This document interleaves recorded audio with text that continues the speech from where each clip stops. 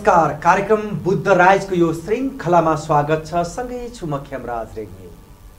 आदरणीय महानुभावहरू यो प्रस्तुतिमा विभिन्न व्यक्तित्वसँग हामी कुराकानी गर्छौँ। विशेष गरी यति बेला यो समयमा उद्योगी व्यवसायीहरू व्यापार व्यवसाय प्रवर्धन गर्नका निम्ति मेला महोत्सवहरू सञ्चालन गर्नमा व्यस्त देखिन्छन्। र वास्तवमा चुनौतीपूर्ण अर्थतन्त्रको बिचमा पनि व्यापार व्यवसाय चलायमान बनाउने क्रिया र अर्थतन्त्र उकास्ने काममा व्यवसायहरू क्रियाशील भएको हामी देख्ने गर्छौँ। र सँगसँगै अन्यत्र ठाउँमा गरिने मेला महोत्सव र बुटबलमा गरिने मेला महोत्सवमा अलि बढी फरक छ यहाँ अलि बढी पृथक ढङ्गबाट मेला महोत्सव गरिन्छ भन्ने जनमानसमा आवाज छ। यति बेला रूपन्देही व्यापार सङ्घको आयोजनामा यही आउँदो पौष पाँच गतेबाट अठार गतेसम्म आयोजना हुन लागेको लुम्बिनी एक्सपो अन्तर्राष्ट्रिय व्यापार मेलाका सन्दर्भमा आज हामीले कुराकानी गर्दैछौँ। आज हामीसँग सँग विशेष गरी रूपन्देही व्यापार सङ्घका वरिष्ठ उपाध्यक्ष सामाजिक व्यक्तित्व दिल्ली राज भण्डारी हुनुहुन्छ। आउनुहोस् यो कार्यक्रममा म उहाँलाई स्वागत गर्छु। यहाँलाई हार्दिक स्वागत छ। नमस्ते। आराम हुनुहुन्छ ठिकै छ। बडो व्यस्त हुनुहुन्छ है? ठिकै छ चलिरहेछ। अब प्रत्येक वर्ष बुटबलमा मेला महोत्सव हुने गर्छ खास गरी होइन? हजुर। यहाँहरूले अन्य सङ्घहरूसँग आलो पालो प्रणालीमा यहाँले मेला महोत्सव गर्नुहुन्छ। हजुर। यति बेला यहाँहरूको पाली छ। हो। तयारी कस्तो छ? कसरी काम अगाडि बढाउनु भएको छ? म यहीँबाट आज कार्यक्रम सुरुवात गर्छु। हामी लुम्बिनी एक्सपो अन्तर्राष्ट्रिय व्यापार मेला दुई हजार असीलाई विभिन्न पैँतालिसवटा उपसमिति गठन गरेर भिन्न भिन्न तरिकाले भिन्न भिन्न समितिहरूबाट अगाडि बढिरहेको कुरा छ र अब हामी बढिरहँदाखेरि अब हाम्रो चाहिँ कामहरू लगभग लगभग अब समितिहरूको भनाइअनुसार हामी हिजो मात्रै पनि स्टेरिङको बैठक बसेका थियौँ कार्य समितिको बैठक बसेका थियौँ उहाँहरूबाट अब हामी अब इन्डिङमा आइरहेको कुरा भन्नुभएको छ यसरी अगाडि बढेको छ। जस्तै दिल्लीजी तपाईँ लामो समयदेखि व्यवसायहरूको नेतृत्व गर्दै आउनु भएको छ खास गरी। हजुर। समग्रमा हेर्दाखेरि यद्यपि अर्थतन्त्र चुनौतीपूर्ण छ व्यापार व्यवसाय खस्काउँदो छ भन्ने खालका आवाजहरू समाजमा नगुन्जिएका होइनन्। साँच्चै भन्दा व्यवसायको अवस्था अहिले कस्तो हो खास? खेमजी तपाईँले समय सान्दर्भिक विषय विषय मलाई चाहिँ सोधिरहनु भएको छ। अहिलेको अवस्था भनेको एउटा देशमा समग्र देशमा सुलो पोइजन जस्तो कतै ठ्याक्कै चिज पनि नदेखिने।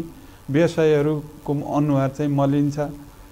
यस जिल्लामा टाढा हामी नजाउँ देशभरका कुरामा पनि नजाउँ रुबन्देहीकै सन्दर्भमा वि विषयहरू उठान गरिरहँदा यहाँ भएका उद्योग कल कारखानाहरू बन्द भएको अवस्था छ। चलिरहेका उद्योगहरू तपाईँले अब सूचनामा थाहा पाइसक्नु भएको छ।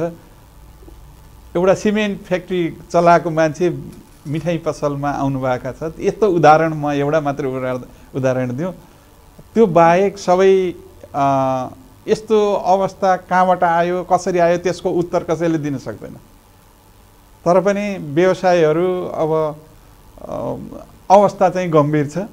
यसलाई फेरि हामी भागेर भएन। यसलाई व्यवस्थापन गर्न हामी व्यवसाय नै लाग्ने हो। अब यहाँको सन्दर्भमा यही नै हो। जस्तै यस्तो चुनौतीपूर्ण स्थितिमा पनि यस्तो भयावह अवस्थामा पनि हामीले मेला महोत्सव गर्नुपर्ने बाध्यता किन भयो खास यो कस्तो हुने खेमजी? अवस्था जटिल हुँदाहुँदै पनि कमसेकम पनि देशलाई अर्थतन्त्रबाट अलि चलायमान बनाउनु पर्छ भन्ने हेतुले एउटा त हाम्रो यो मेला महोत्सव गर्ने यहाँको चाहिँ वार्षिक रूपमा हाम्रो कार्यक्रम नै तय छ। तर पनि यो मेला महोत्सव गरिसकेपछि कम्तीमा पनि अलिकति त्यो एउटा घाउलाई चाहिँ पुर्ने काम व्यापार सङ्घले यहाँका सङ्घ संस्थाले गर्छन्। किनभने स- मलिन छ नि। तपाईँ हेर्नुहोस् बजारका सबै सटरहरू बन्द छन् सेतो प्ला उस कागजमा टु लेट भनेर देख्न सक्नुहुन्छ। सबैले देख्न सकिन्छ। यो अवस्थामा व्यापार सङ्घले यो कार्यक्रम गरिरहँदा चुनौती छ पक्कै पनि चुनौती छ। तर पनि यहाँका व्यवसायीहरूले सबैको यहाँका मात्रै नभएर विराटनगरका व्यवसायी विराटनगर पूर्व मेचीदेखि पश्चिम महाकालीसम्मका व्यवसायीहरू हामीसँग अहिले यहाँ आबद्ध हुन आउनु भएको छ। करिब करिब हामी पाँच सय दसको हिजो साँझ मात्रै स्टलहरू चाहिँ हामी रेकर्ड गरेका छौँ। पाँच सय दस हामीसित दर्ता हुनुभएको छ। भनेपछि उहाँहरूले तर यो अवस्थामा पनि उहाँहरूले यो माया गर्नुभएको छ। अर्थतन्त्रलाई चाहिँ चलायमान बनाउनुपर्छ भनेर लाग्नु भएको छ। अब यो अर्थतन्त्रलाई चलायमान बनाउने नै व्यवसायीहरूले हो भन्ने होला। त्यही बुझेरै नै होला कि यस्तो अवस्थामा पनि साथीहरूले साथ दिनुभएको छ व्यवसायहरूले साथ दिनुभएको छ। र राज्यलाई पनि यसले चाहिँ अलिकति चाहिँ अर्थतन्त्रमा चाहिँ फरक पार्ला। अर्थतन्त्रले फरक पार्यो भने राज्य पनि अलिकति अगाडि बढ्नमा सपोर्ट होला। करका कुराहरू हुन्छन्। विभिन्न तरका यो वा त्यो रूपले अगाडि बढ्नलाई सजिलो होला भन्ने हिसाबले हामी अगाडि बढेका हौँ। यहाँ व्यवसायहरूको साथ र सहयोग रहेको हामीले अहिलेसम्म अनुभव गरेका छौँ। तपाईँले यो सन्दर्भ जोडिरहँदाखेरि खास गरी विराटनगरको नगरको व्यवसायी यहाँ व्यापार गर्नका निम्ति आउँदैछ भने यहाँले भन्नुभयो। हजुर हो। यही क्षेत्रका व्यवसायीहरू मेलामा गएर स्टल राख्नुपर्छ भन्ने कतिको भाव जागृत भएको छ कतिको सहभागिता छ खास। खेमजी त्यो त के हो भन्दाखेरि यहाँका व्यवसायहरू ले मात्रै पाँच सय स्टल चाहिँ पुगेको यत्तिकै होइन पाँच सयभन्दा माथि स्टल। किनभने हामी सबै क्षेत्रको प्रतिनिधित्व गराउँछौँ। हामी यहाँका धर्म संस्कृतिका विषयहरूमा चाहिँ हामी स्ट्याचुहरू बनाएर अगाडि बढेका छौँ। अनि व्यवसायको हिसाबले सबै खालका व्यवसायहरूलाई त्यहाँ राखेर प्रवर्धन होस् भन्ने हाम्रो चाहना हो। एकै खालका व्यवसायहरूलाई चाहिँ त्यहाँ हामी त्यसरी चाहिँ राख्ने गर्ने गर्दैनौँ। हामीले छुट्टा छुट्टै पेभिलियन गराएर सबैको प्रतिनिधित्व हुने गरी अगाडि बढ्ने। हाम्रो सोच छ फरक अ, विशिष्ट फरक पहिचान सहितको फरक किसिमबाट हामी जहिले पनि अगाडि बढ्ने हुने हुँदा सबै ठाउँमा हामी पत्राचार गर्छौँ। अहिले हाम्रो विदेशबाट इन्टरनेसनल भने तापनि विदेशबाट धेरै स्टलहरू आउन सकेको अवस्था छैन। मन्दी नेपालमा मन्दी छ भन्ने चाहिँ विदेशमा पनि पुगेर होला। त्यस उसले अहिले इन्डियाबाट मात्रै अहिले प्रतिनिधित्व भएको छ। अ, त्यस हिसले हिसाबले अगाडि बढेको छ। यहाँका त यहाँका सबै व्यवसायहरूले त प्रतिनिधित्व गर्नुभएको छ। हामीले के भन्ने गरेका छौँ भने अहिले पहिला पहिला जस्तो नहुन सक्छ। तपाईँहरू ठिकै छ। केही व्यवसायहरूलाई त हामीले उहाँहरूलाई त्यसरी पनि किनभने त्यहाँ सामान्य भए पनि हामी चाहिँ प्रवेश शुल्क लिन्छौँ।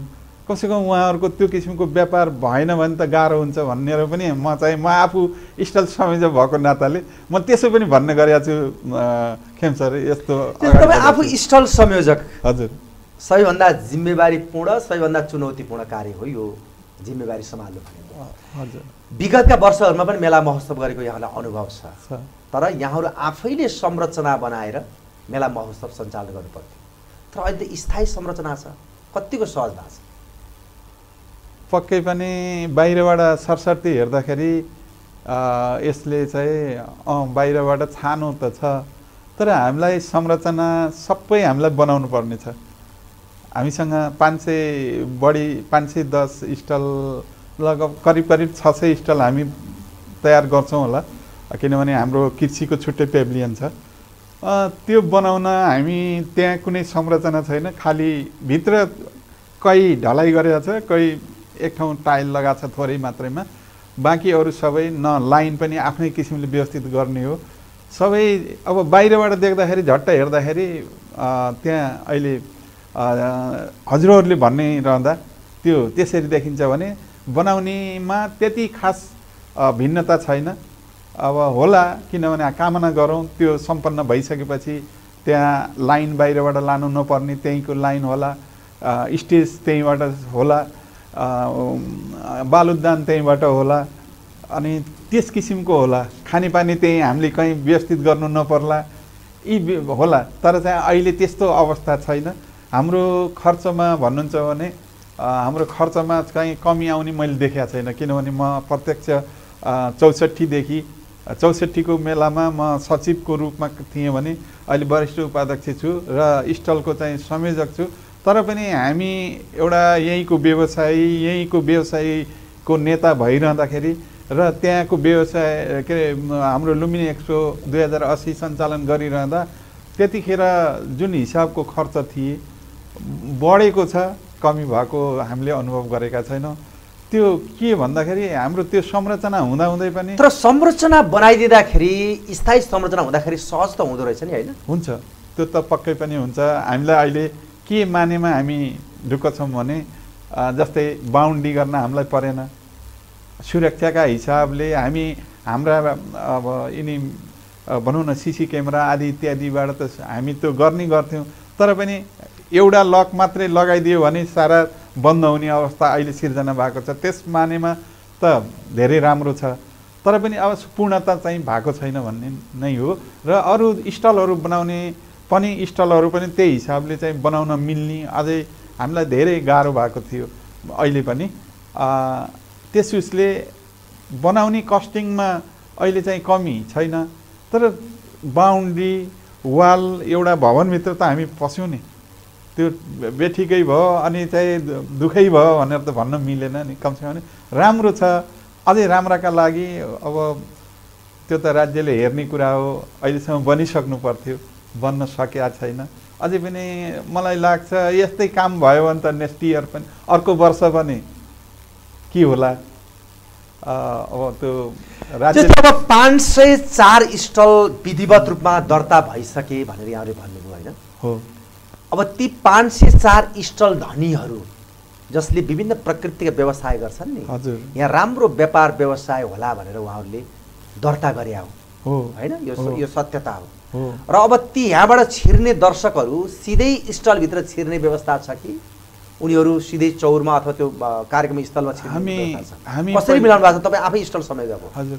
म हामी सिधै स्टलमा जाने पहिले प्रवेश मेन प्रवेशद्वार हाम्रो सचिवालय नेरोबाट चाहिँ छ पूर्वपट्टिबाट।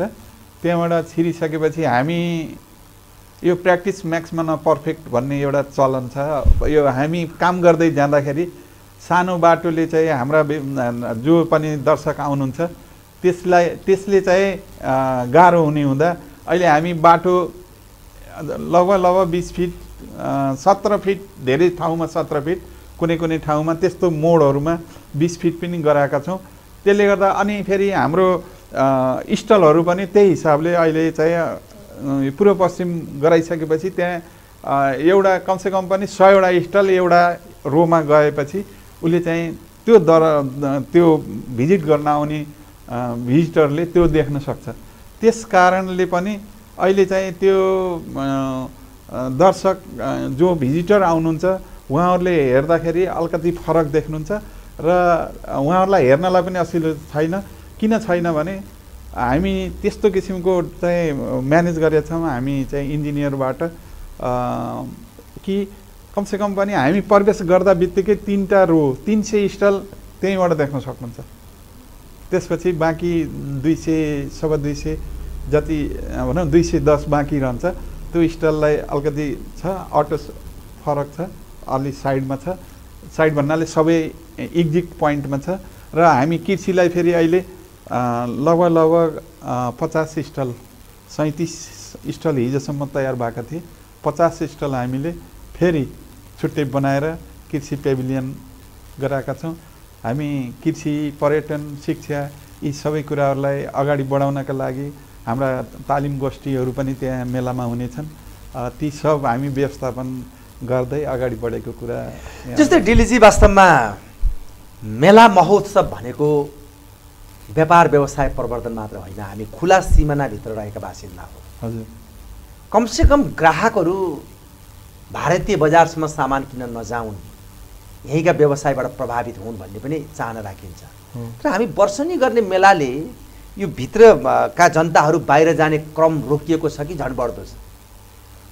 अब यो राज्यले सोच्ने विषय हो खेमजी किनभने हामीले त अब यसबाट के हुन्छ भने यहाँको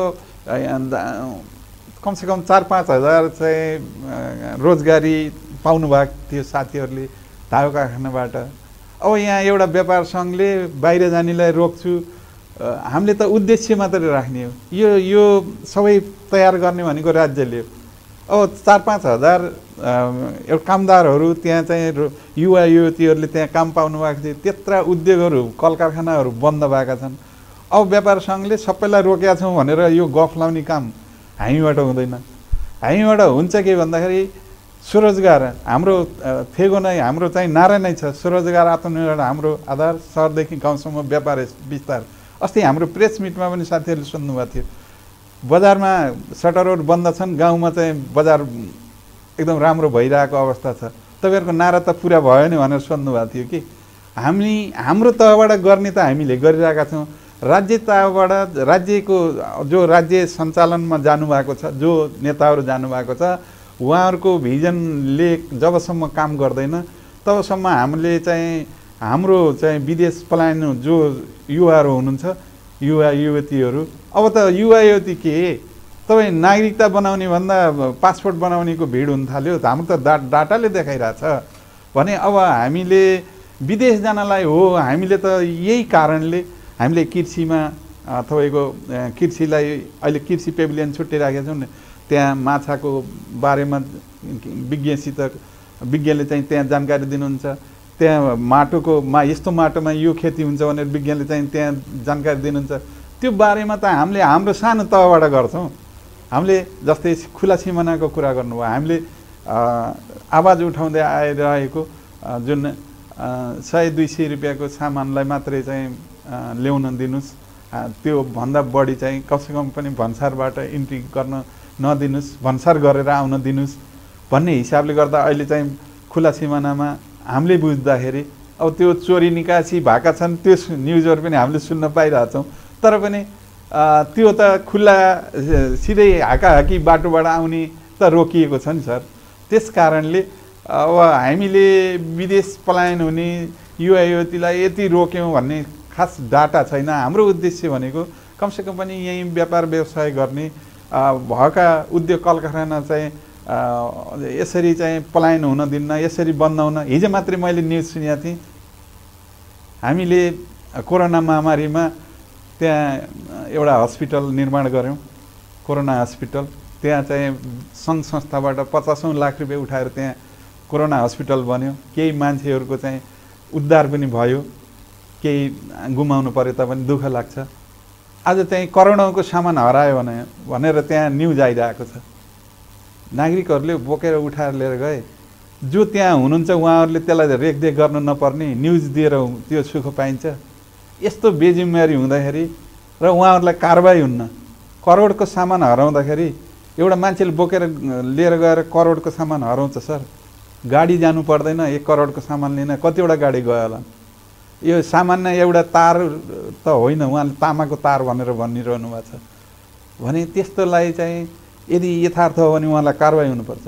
हामी व्यवसायी व्यवसायले त कर तिरेर चाहिँ यी संरचना तयार भएको नि सर।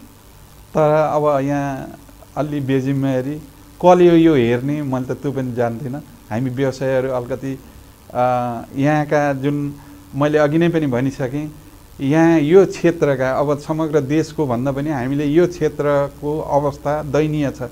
तपाईँ भन्नुहोस् कालिका पथका कति सटरहरू बन्द भए कति होटल पर्यटन व्यवसायहरूले कति लगानी गरेर गरेका। अहिले आज गौतम बुद्ध विमानस्थल बन्यो।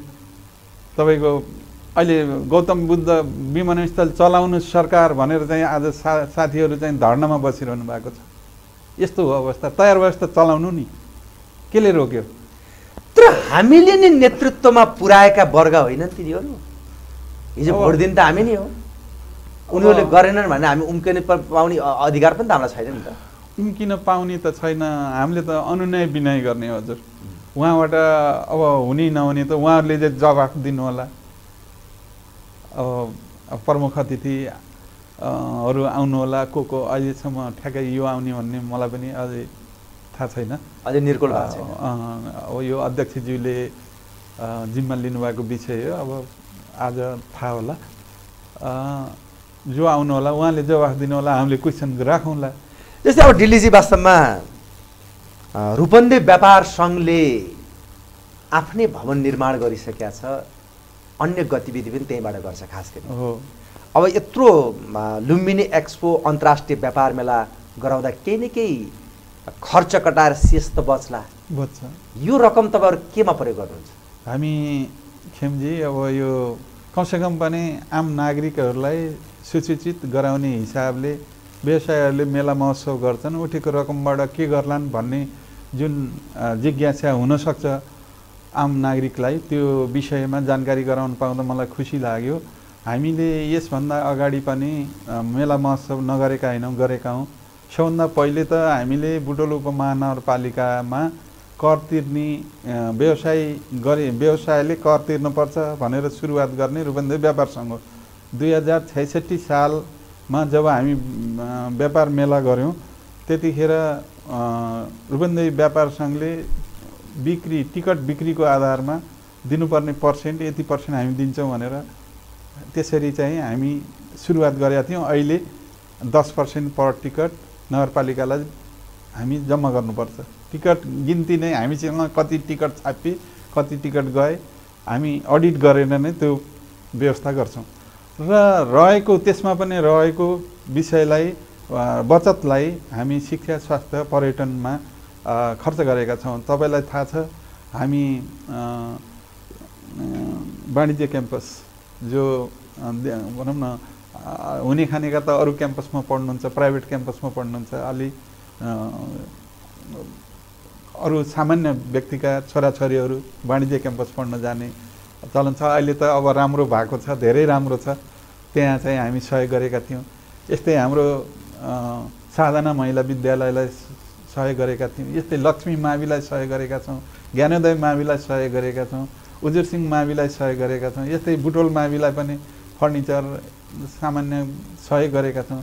यस्तै रहेको अब हामी सुरुवात गरेका छौँ अहिले ब्लड ब्याङ्क राख्ने भनेर बिसौँ लाख एडभान्स चाहिँ पनि गइसकेको अवस्था छ। प्रदेश हस्पिटलबाट समयमा त्यसको चाहिँ व्यवस्थापन नहुँदा अहिले त्यो अन्यलमा छ। व्यवसायीको सामान चाहिँ एउटा चाहिँ बन्दीको जीवन जस्तो बिताइरहेको अवस्था छ। उसले पैसा पाएको अवस्था छैन। यस्तो अब यसरी चाहिँ त्यो चलिरहेछ भने हामी चाहिँ बचेको पैसा हामीले हामी खर्चलाई मितव्ययता भन्नुहुन्छ भने खेमजी हामी चाहिँ एउटा चाहिँ दुई चारजना साथीहरूबाट मेस चलाएर हामी खर्च मितव्ययता हामी होटलमा गएर पनि एउटा खान सक्थ्यौँ। होटलबाट महँगो पर्छ बचाउनु पर्छ भनेर हामीले मेस चलाएर त्यहाँ जे जस्तो पाक्छ त्यसैलाई चाहिँ खाएर अहिले चाहिँ हामी मेला हाम्रो अब अब धेरै दिन बाँकी छैन। मेला यहाँहरूले आरम्भ गर्न अब धेरै दिन बाँकी छैन केही दिन मात्रै बाँकी छ खास गरी हो तयारीको कुरा पनि यहाँले जोडिसक्नुभयो। हजुर। अब आम दर्शक यो महोत्सव हेर्न किन जाने? यो टेलिभिजनको माध्यमबाट हामीलाई जहिले संसारभरि हेरिराख्नु भएको छ सामाजिक सञ्जालको माध्यमबाट पनि हामीलाई हेरिराख्नु भएको छ। तपाईँ निचोडमा अन्त्यमा के भन्नुहुन्छ? दुई हजार लुम्बिनी एक्सपो दुई हजार असीलाई हेर्न किन आउने भन्ने विषयमा एउटा त सर्वप्रथम देशमा चलिरहेको मन्दी छ यसलाई चलायमान बनाउनको निमित्त मान्छेहरू उकुस मुकुस भएको अवस्था छ त्यहाँ आउने। आएपछि सुरक्षा सुरक्षाको कुराहरू के कस्तो होला भन्ने भन्ने कुराहरू आउन सक्छन्। हामी सुरक्षाको प्रबन्ध यस अघिका ठुला ठुला मेलाहरू चलाइरहेको अनुभव छ। त्योभन्दा बेटर अहिले हामी चाहिँ गरिराखेका छौँ। त्यस कारणले आउने र हामीले फरक फरक हामी चाहिँ मेलाहरूमा फरक फरक हिसाबले अगाडि बढेका छौँ। अहिले हामी हामी भनौँ न यो क्षेत्रमा त्यस्तो केही भएको अवस्था छैन। अब पूर्वतिर पश्चिमतिर जा जाति जनजातिका चाहिँ लडाइँहरू धार्मिक लडाइँहरू चाहिँ हुन्छ कि हुन्छ कि जस्तो चाहिँ थियो।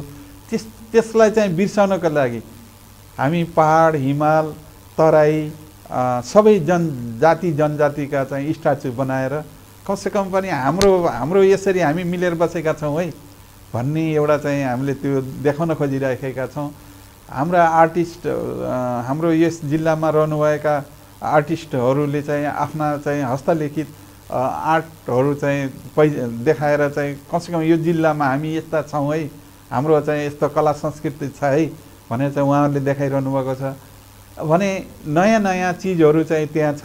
हामीले नयाँ किसिमले त्यहाँ चाहिँ मेला महोत्सव गरेका छौँ र त्यसलाई चाहिँ निर्धक्क रूपमा जसले टिभी हेर्नु भएको छ जसले सुन्नु भा देख्नु हेर्नु भएको छ त यहाँहरूले अरू नहेर्नु भएको अरू छुट्नु भएकोलाई पनि यसरी चाहिँ त्यहाँ रहेछ भनेर चाहिँ सुनाइदिन म आम नागरिकलाई चाहिँ अनुरोध मेला म को सह संयोजकको हिसाबले अनुरोध गर्छु भने र सबैलाई यो मेलामा निर्धक्क रूपमा आएर आफ्नो यो मलिन रहेका व्यवसायका अनुहारलाई कमसेकम पनि थोरै भए पनि मलमपट्टि लगाइदिनु हुनेछ भन्ने पनि मैले अपेक्षा लिन्छु।